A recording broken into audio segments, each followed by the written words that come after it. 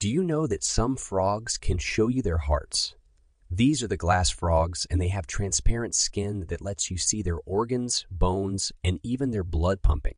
They live in the trees of South and Central America, where they use the leaves and the light to camouflage themselves. They also lay their eggs on the underside of leaves over streams, where the tadpoles will drop into the water after hatching.